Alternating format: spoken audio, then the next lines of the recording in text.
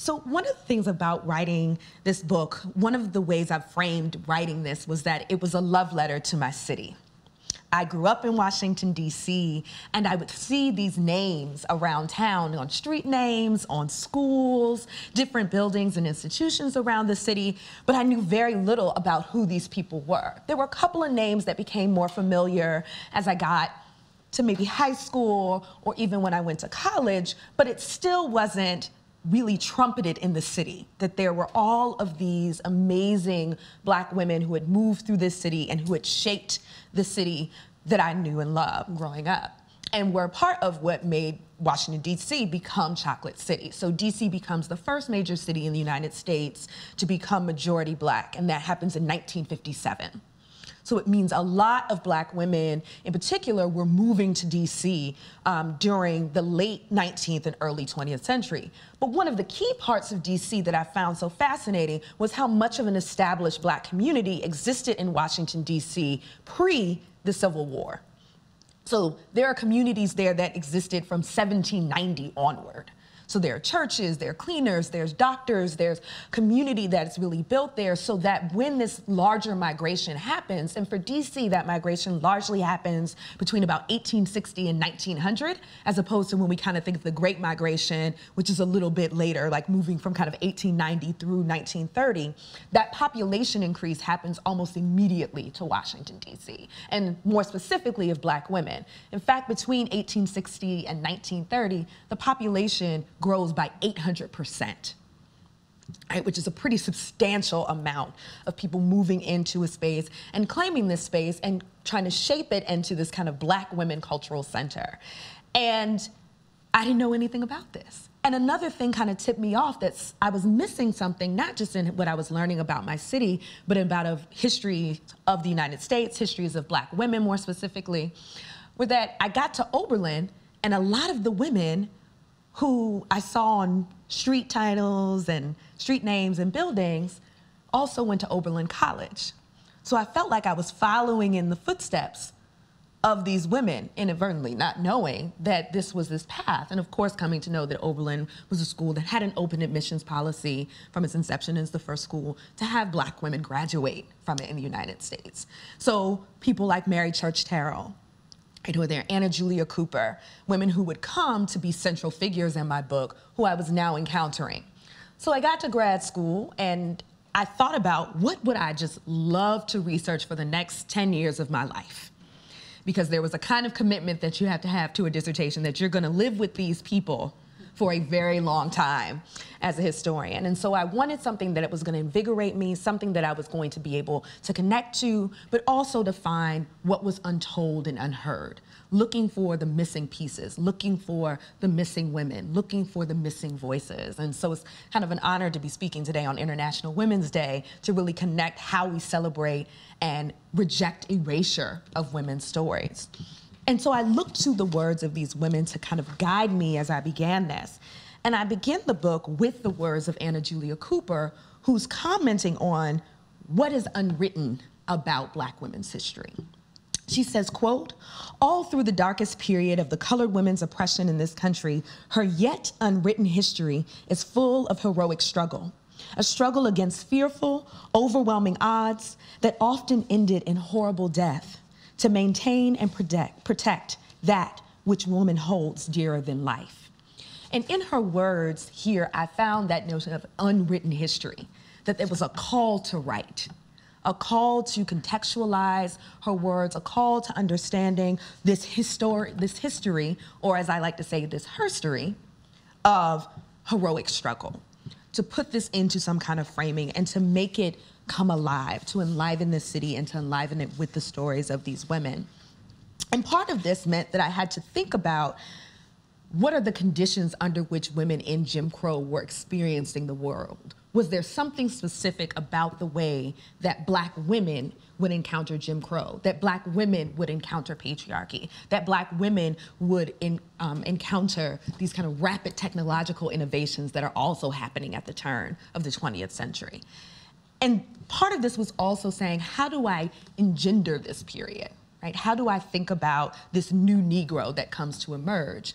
And I thought about the new Negro, which is a framework that I use in the book, as something that had always been framed to me as fairly masculinist, even in its deployment. Temporally, it's about the war, right? the interwar period um, between the end of World War I and the beginning of World War II, um, although we know authors and poets and things, but thinking about it as a way to talk about African American masculine struggle and racial violence against, in particular, black men and boys. And although I think that that holds true in a lot of ways, you see the language of a new Negro coming from black women as early as the 1880s. That they're articulating some idea of newness, some idea of modernness that they're trying to get at. And they're also trying to say, we're here too, right? So earlier before we get to the 1980s where you actually get the proclamation, but some of us are brave, these black women are saying, right, that black women are part of this black experience. And part of the ways that racial violence and Jim Crow shows up is distinctively marked on black women's bodies. So African Americans in the late 19th and 20th centuries experienced anti-blackness, racial terror, and racial subjugation in gender-specific ways. And so part of this book was trying to access that. And I think it's important in a moment like this to think about why we have to dig in in these gender-specific ways to understand the dynamics of anti-blackness, both historically and contemporarily. Right? Although women were victims of lynching, and other forms of non-sexual violence, the predominating historical narrative of racial violence from the Jim Crow era pivots around the lynching of black men, right? So when we think of this idea of who was lynched and where racial violence was showing up, particularly if we're thinking about fatal racial violence, a lot of times, a lot of the work that we've seen, a lot of the work that had been done, particularly up until the last few years, really focused on black men and boys. Even though there are nearly 200, and now still counting, 264, I think is the number now, documented lynchings of black women occurred during this same period. The lynched, brutalized, and publicly violated black male body remains the primary historical signifier of this era of US racial terror. While I do not seek to diminish the significance of this signifier, its preeminence as the singular signifier reinscribes a historical narrative in which we discuss black women as secondary or less violated victims of anti-black racial terror. Black men, women, and gender nonconforming people cohabited the spaces of anti-black racial terror. So part of this is also gendering or opening up the gender possibilities of who is the strange fruit right, that we see hanging from these trees that is violated and distinct. The scant, though gradually growing visibility of the battered, brutalized, raped, and assailed black female body in our collective historical memory propels a primarily histor masculinist historical narrative of African American lived experiences in the Jim Crow era. Masculinist framings of anti-blackness during Jim Crow also contribute to contemporary discussions about anti-black racial violence. Comparisons between the lynching of black men and boys during Jim Crow and the killing of unarmed black men and boys such as Tamir Rice, Michael Brown, and Eric Garner rely on a historical narrative of black men and boys as the primary victims of racial violence. Thinking about African American women and girls as victims and violable subjects during the New Negro era allows for us to understand how and why gender mattered and continues to matter in the operation and praxis of anti-blackness. This intervention does not stop at, quote, we must remember black women and girls as victims too, but shifts our lenses to consider critically the relationship between gender and anti-blackness. Right? And so to do this historically means going back and one, digging through these archives and recovering these stories at which you see this violence happening, but it also requires understanding what is at stake if we don't. And we've seen this corrective contemporarily happen in thinking about a movement like Black Lives Matter that almost immediately gets a kind of update or remix with Say Her Name right? An insistence upon the ways in which we remember and articulate black women and girls as victims of racial violence too. And so some of the work that these women are doing here, the women in the book, the women of Washington, D.C. are doing, is asking us to say her name too right? So these become precursors of how we talk about gender, how we talk about blackness, giving us new frameworks and uh, new ideas about this. So in this, I captured them as reinventing black womanhood, reinventing through reinvigorating discussions about what happens to black women and what are the unique conditions under which black women experience Jim Crow racism. And part of this also is about using history as a way to think about meaningful resistance across time and how we don't make the same mistakes that we've made in past iterations of these movements.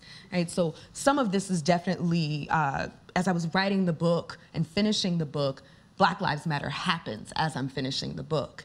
And I see this kind of historical corrective that is happening in real time so instead of kind of 40 years later being like, hey, women were there too, women were victims too, right? It's almost this immediate response that allows for this using media and technologies of the time to address that and to talk about gender and anti-blackness.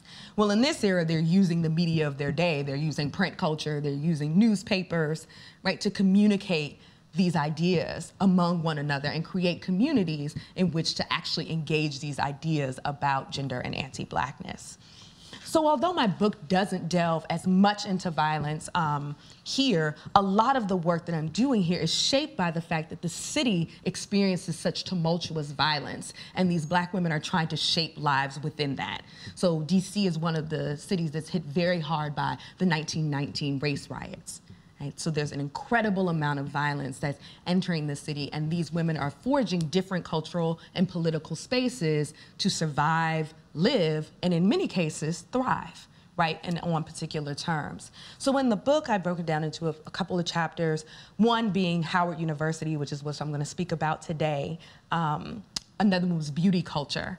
And part of this as a feminist was important for me to get at why was beauty culture so important to black women? Had this thing that seems more frivolous and kind of, um, in certain ways, in certain framings, anti-feminist to think about beauty and something's wrong, so we need to correct it in you, but actually the ways that black women use this culture industry to make claims about womanhood, to make claims about blackness, to make claims about their political exigencies and their political futures. It's so important to black women that by 1920, 10,000 black women in DC identify as beauty culturists, right? And in some form. So they're industries that are in salons out of people's homes, people doing other people's hair, people selling products, making products.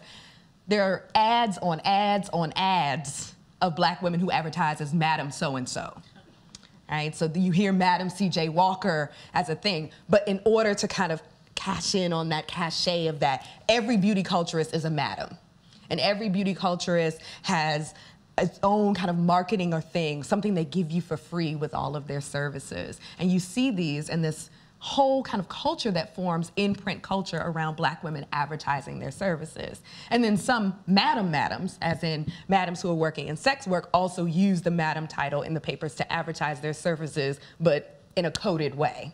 So you kind of have to read through and have a literacy of, is this a madam where I'm gonna get my hair done, or this is a madam where other services will be rendered right, um, that happened. But all of this is happening in this kind of same page um, of these newspapers, of these black newspapers that become these important sites for discourses authored by black women about themselves. And it also becomes an opportunity to talk about what the black woman would be. What is the ideal black woman? And black women having conversations about that. And also listening to and engaging with some pretty awful kind of discussions about black womanhood, whether it's the editor of the Washington Bee demanding that black women straighten their hair, that God cursed black women with kinky hair so that you should straighten your hair and go into the 20th century. You have that from the editor of the newspaper, right? But then you have someone like a Nannie Helen Burroughs pushing back, saying, um, character, not color,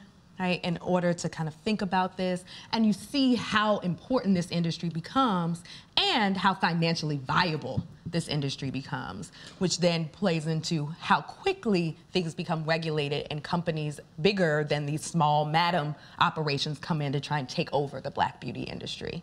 Right, leading up into the early 2000s, where you have at one point 4,000 black manufacturers in the country at the height of some of this to four right, by the 2000s, um, which is now increasing again, but there's this interesting move from 4,000 to 4 because it's such a robust industry.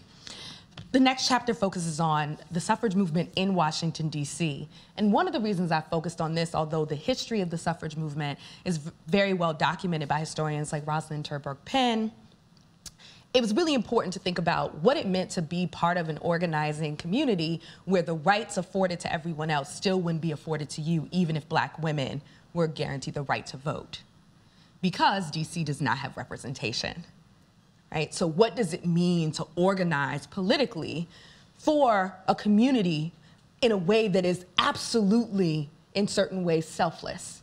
Right, that won't have an impact directly on your representation in a broader sense at the legislative level. And you get to see the kind of comparative aspects of what women's suffrage movement looks like in black women's spaces and white women's spaces, right? What are the tactics? What are the aesthetic dynamics of it? What are the kinds of rhetoric that are being used? What are the political strategies that are being used? And so putting that into conversation with one another and using black women's words to dictate that.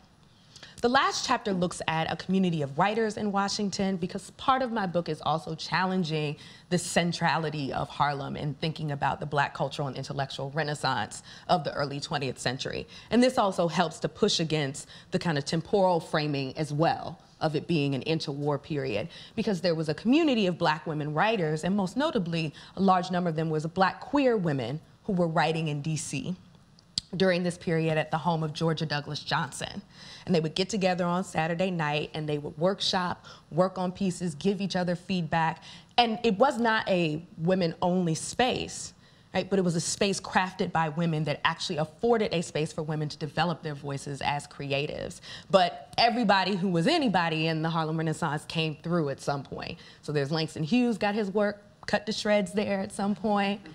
Um, Alain Locke came at some point. And so there are different ways that this space is so much more important in terms of remembering what this Renaissance actually meant and who those voices were. And also became a safe space for black queer women in the 1920s, which is another important aspect of this community. And a large part of what they do in this is try their most radical topics. So they're looking at lynching, they're looking at infanticide.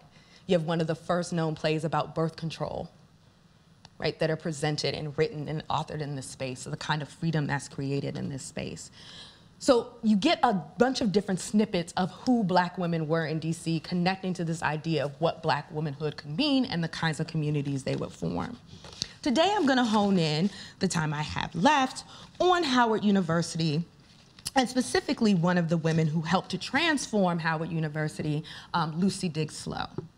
And what's so exciting about her is because she kind of is this dynamic figure that is now, I guess more people might know about her. How many people have heard of Lucy Diggs Slowe before? Excellent. Okay, so no one except for one person, right? And who is this kind of phenomenal figure and checks off like so many historical pioneer boxes and she's unknown, right? So she is the first black woman to ever win a national championship in tennis. Um, she is um, graduates from Howard University. She's the first dean of women at Howard University. She is a founder and um, first president of Alpha Kappa Alpha Sorority, incorporated at Howard. Um, she is a writer. She is someone who advocates for student personnel. She brings forth the first known document of sexual harassment on a college campus that exists. So she's at the helm of all of these different kinds of movements and most of us don't know who she is. And what's interesting about her is that Howard becomes this rich space to develop her in certain ways because she's there as a student and then comes back as the dean. But it also is a space where she's doing an incredible amount of critique about the gender politics of Howard University. And so she's speaking both to the kind of larger kind of racial constraints of the city itself and of Howard. But then she goes into these intracommunal dynamics and calling out patriarchy and calling out sexism and ultimately calling out homophobia as her partner, um, Mary Burrill, who's an accomplished writer in her own right and part of the S Street Salon community, is um, her relationship is put into considerable limelight by certain administrators because she is a queer woman Right? So all the things, right? She's literally all of those things, and so little had been written about her up until this point. There's now a really amazing biography of her. It's extremely comprehensive. Um, and another work about her and her partner that's in a broader book of like gay cities and looking at Washington, D.C. as one of them, as one of the premier couples of the city.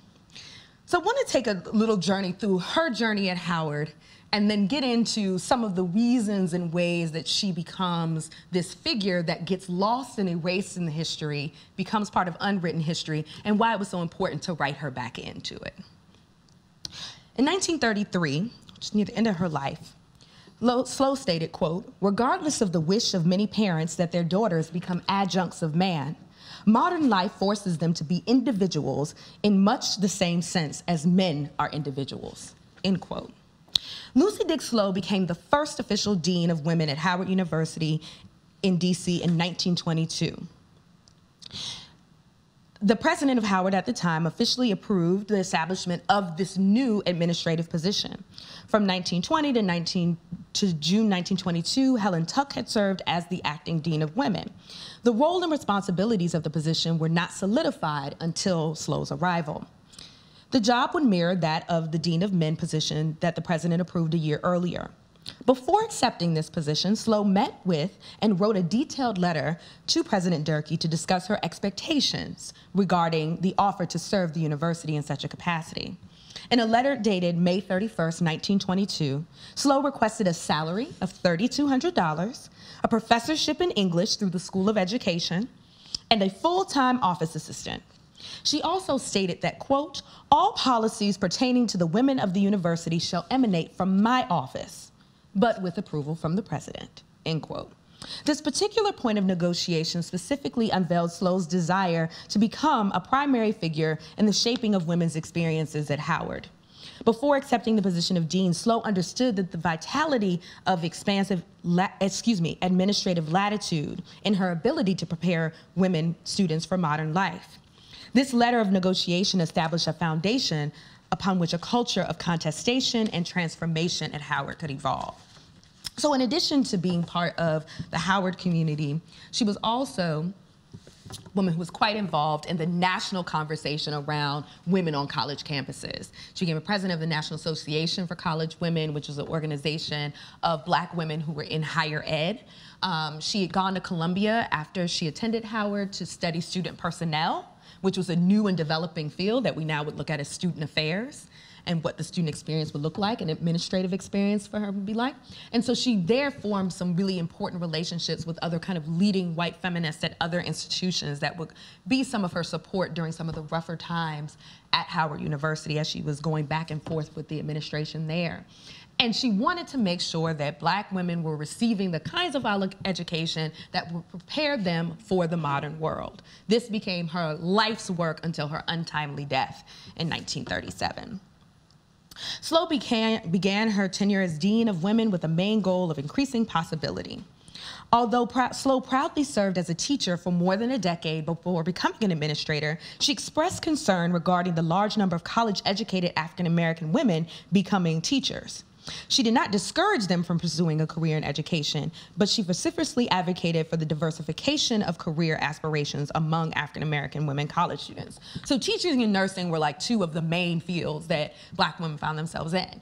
But teaching, for instance, particularly in the DC public school system at the time, if you got married, you were considered to have resigned your position right? There was no formal paper or anything. Your marriage was a letter of resignation, right? So also realizing that even the careers where you thought there was this kind of noble possibility that put you in this place, right? The moment that you made a decision in your private life, it automatically cut you off from this kind of uh, from this career path. So noticing that, she was like, how do we diversify this? How do we equip black women to be in all fields of endeavor? And to also change that policy.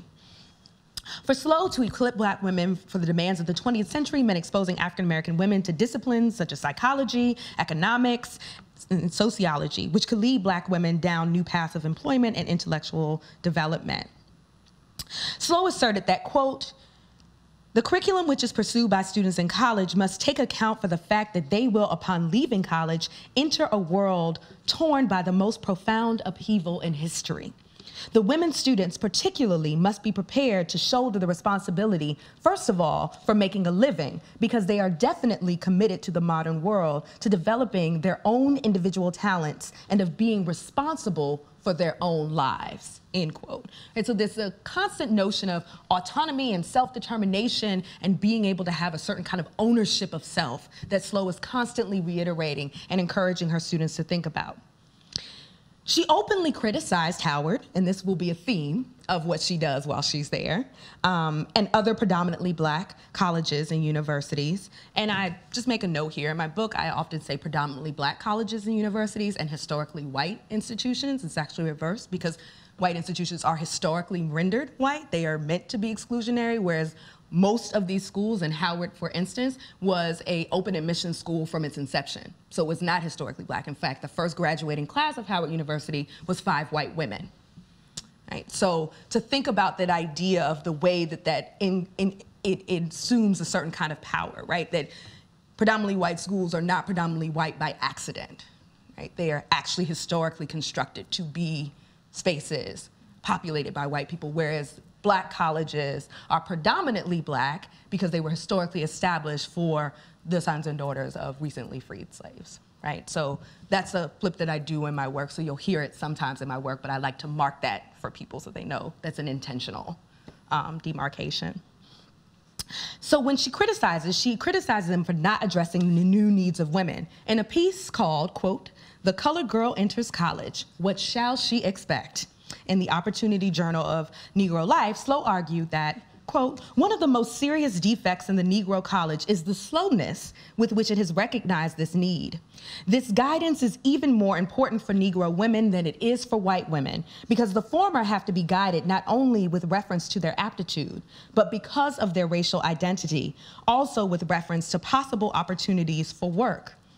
Negro women cannot assume that because they are prepared efficiently as individuals, they will receive the same considerations as others when they apply for work, end quote. So in this, she's doing a lot of significant work, right? She's acknowledging the unique position of black women. She's acknowledging that in relationship to white women, but also in relationship to kind of this predominant notion of who gets employment of white men. But she's saying because of racial identity, this even looks different for black women compared to white women. She's also speaking to the narrative that's happening in college right now, in, in, college, excuse me, at the time, that are saying that if you're going to college as a woman, you're going there to get your MRS, right? You're going there to find your husband as opposed to a degree or this. And she's like, that can't be black women's experiences here because unlike our kind of, most of us who are in college have to work once we leave here. This is not a choice. So we need to prepare to do that kind of work so forcefully and adeptly recognize the unique challenges of black women faced during the new Negro era. So she continues to build in these ways. She is working towards building a women's campus because women are living off campus um, during this time. They don't have women's dormitories. They have to live in homes throughout the city and then can come to campus. And she wants to center that feeling that residential life will be an important part of strengthening black women's opportunities, right? Expanding black women's opportunities while they're there. And she is pretty successful to an extent in encouraging black women, developing organizations that are there, bringing speakers to campus, being involved in the women's suffrage movement, a lot of different political movements. She really galvanizes and gains a lot of support from black women students, faculty, and staff while she's there. But a sudden shift happens around 1927, about five years after she arrives there. And it actually comes during the arrival of Howard University's first black president, Mordecai Johnson. Right. Um, Mordecai Johnson arrives in 1926, but he becomes officially there in 1927. He's a graduate of the all-male Morehouse College and an ordained Southern Baptist minister. Mordecai Johnson arrived at Howard with a vision for the future of this institution and became known to many as one of the most controlling, although effective presidents that the university ever had. His religious background influenced his views on education and his thoughts pertaining to the appropriate behavior and career paths for African American women. Johnson maintained a conservative understanding of black women's roles on college campuses and more broadly in public life. And so he became someone who Slowe, and this is being light with it, detested. Um, over the course, and this is who she'd be negotiating with for the last 10 years of her life.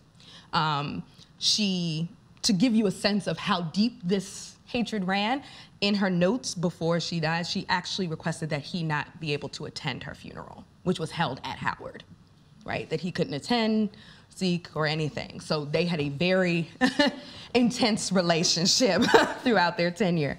Um, and uh, she spoke very openly uh, about her issues with him and with her issues with the administration largely, but also believed in the distinct potential of Howard University to be a space where progressive um, politics could be cultivated. So Slowe explicitly critiqued African American churches and social conservatism, which also put her at odds with this ordained Southern Baptist minister. She publicly stated, quote, much of the religious philosophy upon which Negro women have been nurtured has tended towards suppressing them in their own powers. Many of them have been brought up on the antiquated philosophy of St. Paul in reference to women's place in the scheme of things, and all too frequently have been influenced by the philosophy of patient waiting, rather than the philosophy of developing their own talents to their fullest extent.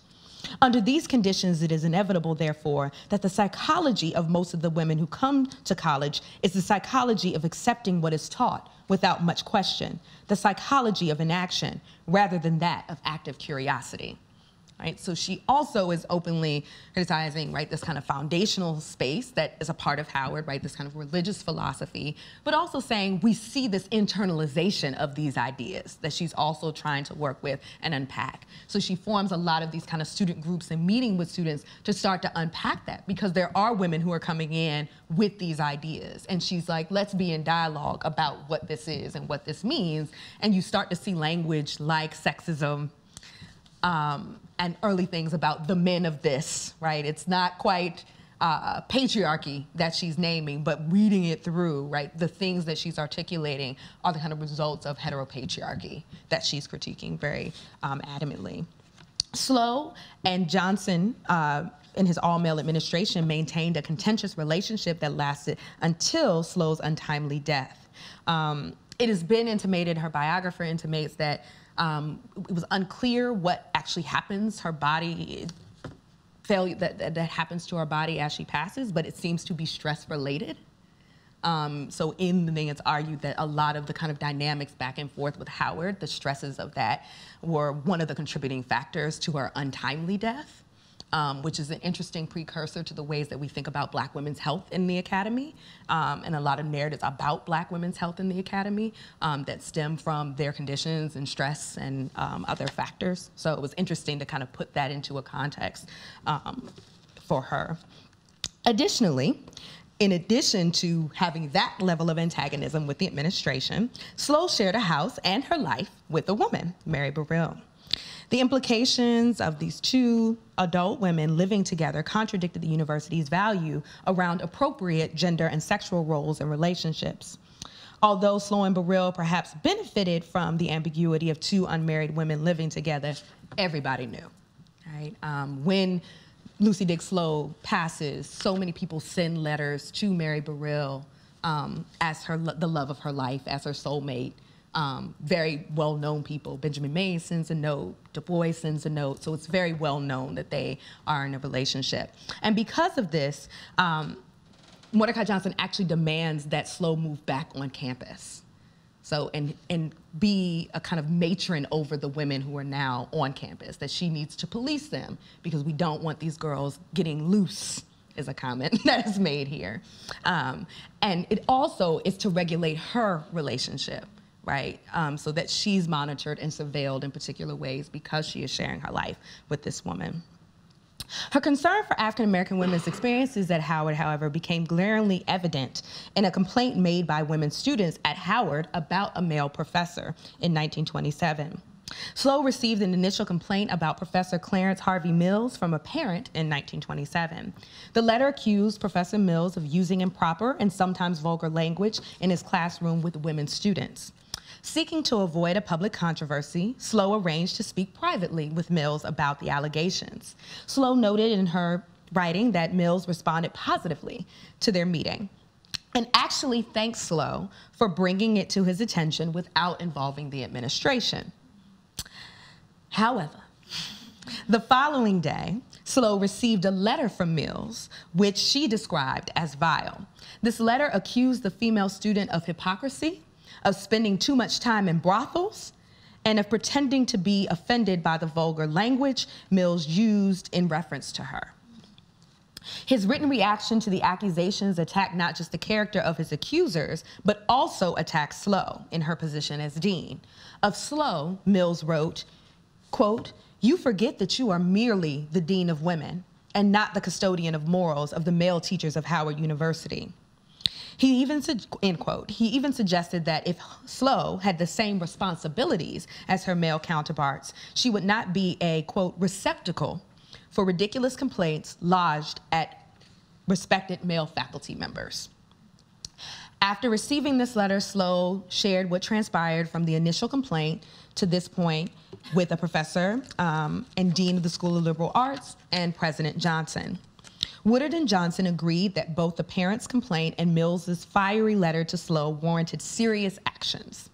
During a meeting with Mills, it was decided that he would be dismissed at the end of the term, that no public discussion would accompany the administrative decision, and that Mills would apologize to Dean Slowe for his scathing remarks about her. However, Mills finished the entire year at Howard and was granted a leave of absence with partial salary during the next academic year. During his leave of absence, Mills finished his doctoral degree at the University of Chicago and continued a career in education unmarred by his behavior towards Howard women. Mills' eventual departure from Howard was more voluntary than punitive. Slowe's relationship with Howard's male administrators, particularly President Johnson, further deteriorated because of her continued insistence after this on Mills' termination and her advocacy against Howard women being subjected to gender-based harassment. These, the consequences in this further deterioration of a relationship, however, did not stop Slowe from speaking out about campus culture. In her 1927 memorandum on the Mills case, she conveyed a profound sense of disappointment and frustration with Howard and its attitudes and policies towards black women. In this letter, she addresses sexual assault, but also addresses larger concerns about the treatment of women here at Howard. She said, quote, from the time this case happened down to the present, I have not had the cordial support of the president. When the time came to raise salaries, he raised mine $200 and raised other deans with qualifications no better than mine in amounts ranging from $850 to $1,150. He, without explanation, excluded me from his conferences with the academic deans, although prior to 1930, the dean of men and the dean of women had sat with the board of deans. He has never sympathetically studied the real work of the Dean of Women and still seems to have a wrong conception of her function, sponsored by the Department of the Dean of Women. And he does not have firsthand knowledge of my work. I have tried in every way to correct this, but can get no cooperation from the president, end quote. Right, so she writes this public letter. Soon after this, a few years after this, he actually closes the women's campus at Howard University.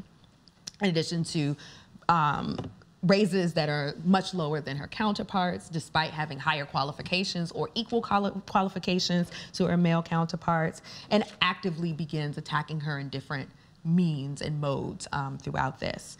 Despite all of this, Slowe continues to be openly critical of the administration and the administration's attempt to regulate her sexuality and the behavior of black women on the campus.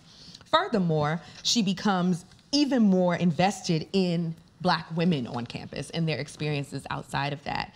She continues to advocate for political opportunities, advocate for them being the kinds of leaders she was on campus, and also advocating for themselves.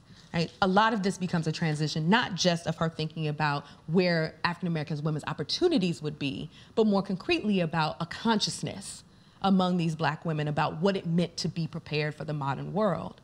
And although she remained critical of Howard throughout her tenure there, she had a deep and abiding love for what the space could create and could offer to black women such as herself.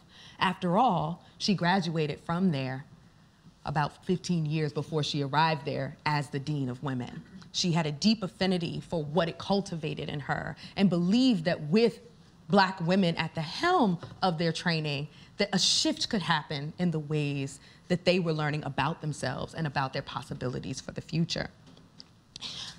African American women at Howard University in the early 20th century were participants and, and catalysts in debates about the role of black women in the modern world. Although they combated less than progressive gender ideologies, it was important that they got exposed to different ideas about who they could be and different ideas about autonomy, different ideas about authoring of self. This is at the core of what a new Negro ethos was, a new Negro consciousness was among black women, an idea of self that was both tied to the possibilities of the individual, but intimately connect, excuse me, connected to the possibilities of the collective. What was possible when all of these black women actually could harness their individual talents in service of these greater political goals? How would they be equipped to challenge prevailing ideologies that were anti-black, that were anti-queer, that were anti-woman, that were anti-femme? Right? How would they use these skills here? And although Howard is this elite space in many ways, it is a space that is deeply connected to Washington, D.C., and is seen as part of the community, right? It doesn't have this same kind of divide that we often imagine colleges and universities having with the cities that they're in, right? It's actually very intimately interwoven. So performances from the high school are held at Howard, right? And students begin to imagine possibility. Also, Slowe's partner is a teacher at the high school there. So the connections that are being made between the women there solidify a community of women that are shaping a city, but also shaping a consciousness. They're shaping ideas about justice that are deeply rooted in the unique experiences of black women, and therefore making Chocolate City also a femme-centered space. Thank you.